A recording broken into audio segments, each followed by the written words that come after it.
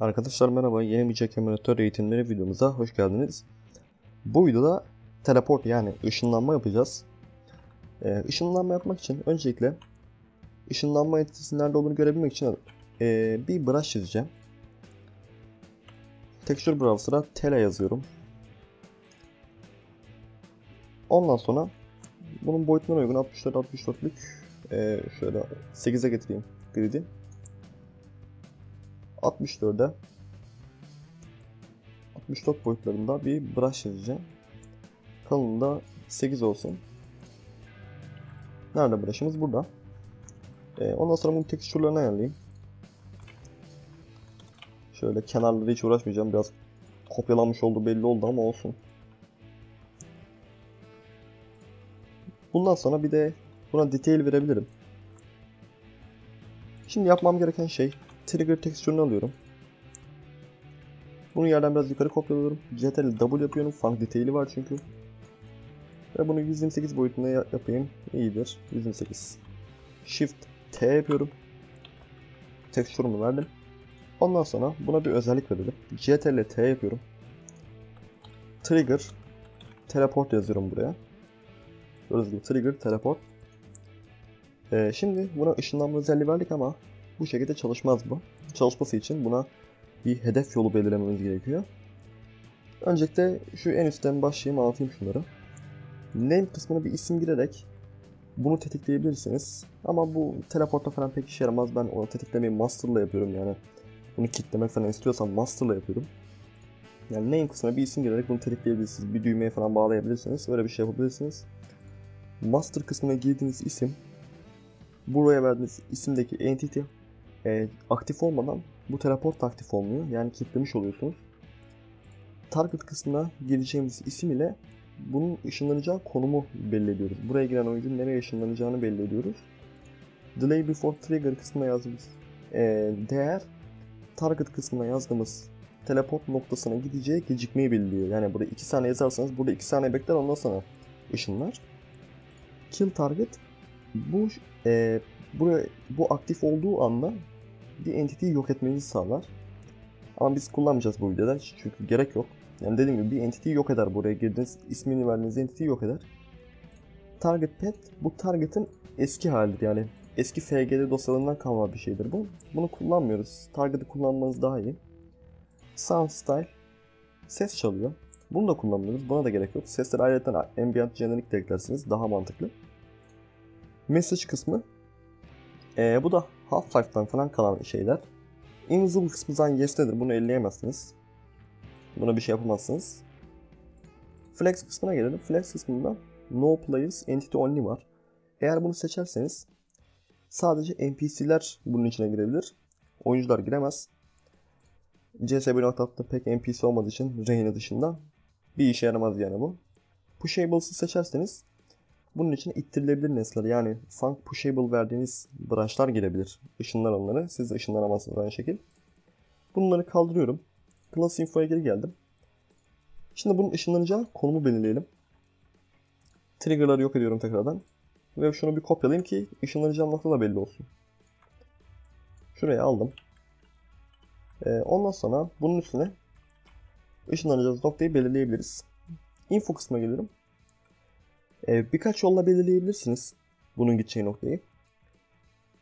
Info target veya info teleport destination kullanabilirsiniz ama info target mantıksız birazcık. Sebebi de şu anlatayım. Info target'ı koydum.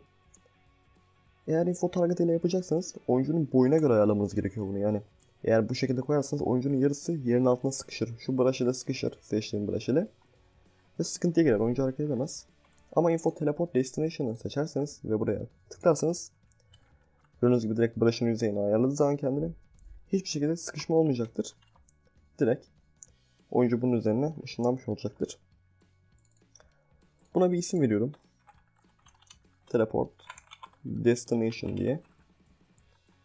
Bunu kopyalıyorum ve trigger'ımın target kısmına bunu yazıyorum. Birbirlerine bağlantılar gördüğünüz gibi. Şu anda teleportum hazır. Bunun içine girdiğim anda buraya ışınlanmış olacağım. Bunları bir gizleyeceğim ama ben öncelikle. Hangisinin giriş hangisinin çıkış olduğunu bilmek için sprite'larla teleport sprite'e vereceğim buralara. Şunu şuraya koydum. Yerden biraz yükselteyim. Ee, şimdi sprite name kısmına geliyorum. Half-Life Valve Sprites Enter 1 Sprite'ın adı. Enter 1. Bir alamadım. Ha, Enter 1'i aldım. Render moddan glow yapıyorum. Render fix'ten constant glow yapıyorum. Scale falan hepsi aynı kalsın. Flex kısmını ellemeyeceğim. Bu kadar. Ee, şunu biraz daha yukarı kaldırabilirim. Ondan sonra bunu karşıya kopyalıyorum. Karşıya aldım. Buna yeniden bir isim vereceğim. Sprite name. Bu sefer exit 1 yazıyorum buraya. Exit 1 yazınca burada rengi değişik gördüğünüz gibi. Bu giriş yeşil olan çıkış. Ee, şu anda teleportumuz hazır. Bir de şu master ayarlayacağım. Onun için bir buton alıyorum. 32'ye 48'lik bir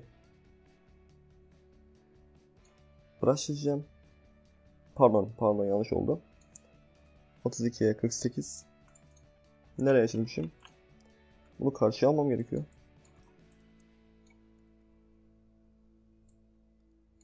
Ayarladım. Ondan sonra bunun tekstürlerini ayarlayacağım.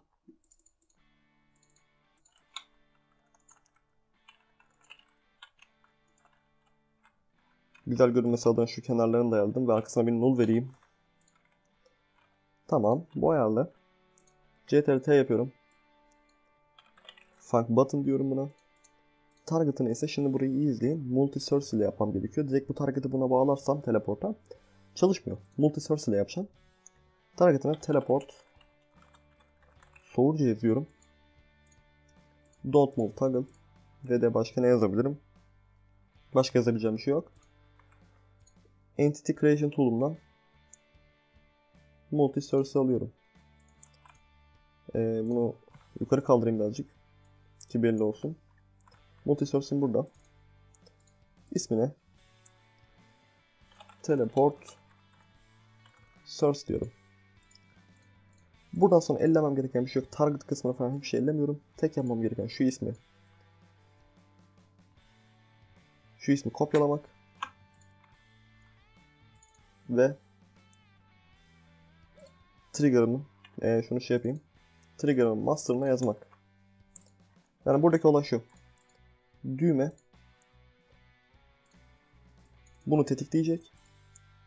Bu aktif hale gelince de bu master'dan bunu algılayacak ve bu da çalışır hale gelecek. Şimdi bir compile alacağım. Bunu kaydedeyim.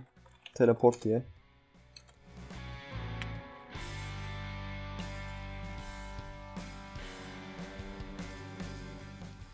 Evet haritamız açıldı. Ee, şimdi teleportları bir deneyelim. Giriş yapıyorum. Gördüğünüz gibi şu anda ışınlanmadım. Hala bekliyorum. Normalde ışınlanmamız gerekiyordu. Düğmeye bir kere basıyorum. Bastım. Şimdi ışınlanacağız. Tak. Işınlandım. Gördünüz mü? Tekrar geçiyorum. Işınlandık. Düğmeye tekrar basayım bakayım kapanacak mı? Yok kapanmadı. O kapanmayı başka türlü ayarlayabiliriz. Ama yani bir kere aktif hale getirmiş olduk. İlk başta aktif olmadı. O şekilde ayarladık. Yani ışınlanma bu kadar. Gayet de basitti yani. Umarım anlamışsınızdır. Ee, izlediğiniz için teşekkürler. Videoya like atmayı, yorum atmayı unutmayın. Ee, video öneriniz veya merak ettiğiniz bir şeyler varsa yorumlara yazabilirsiniz. Şimdilik bu kadar. Hoşçakalın. Görüşmek üzere.